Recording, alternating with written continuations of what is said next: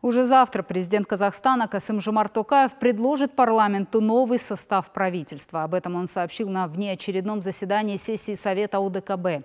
Глава государства проинформировал партнеров о ситуации в нашей республике. Он заявил, что террористы нанесли удар по столице.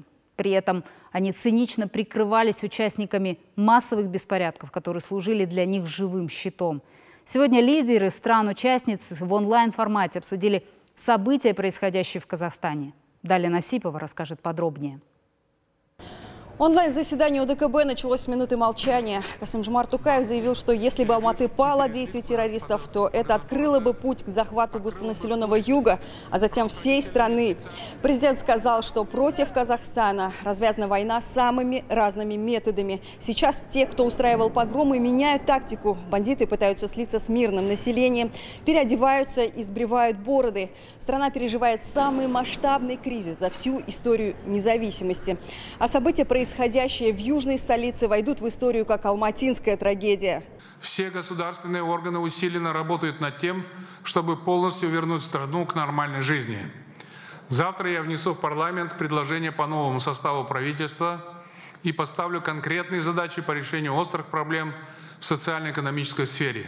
Развертывание миротворческой миссии ОДКБ происходит впервые за историю существования организации. О легитимности ввода иностранных военных на территорию Казахстана сейчас активно говорят в Европе и США, требуют казахстанского лидера объяснений.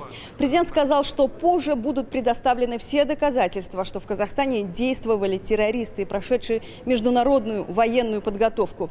Они нападали на военных с особой жестокостью. Двоим военнослужащим отсекли головы. Бандиты нападали по ночам на морге, забирали и увозили тела своих погибших подельников. Они также забирали тела боевиков прямо с поля боя.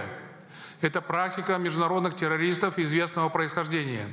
В составе ОДКБ прибыли 2030 человек. Они взяли под охрану стратегические объекты и не участвуют в зачистках. Военные ОДКБ проходят подготовку по общим программам.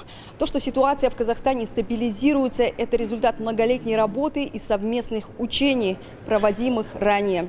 Главы стран-участниц ОДКБ сошлись во мнении, что организации нужно укреплять отношения и усиливать военный потенциал.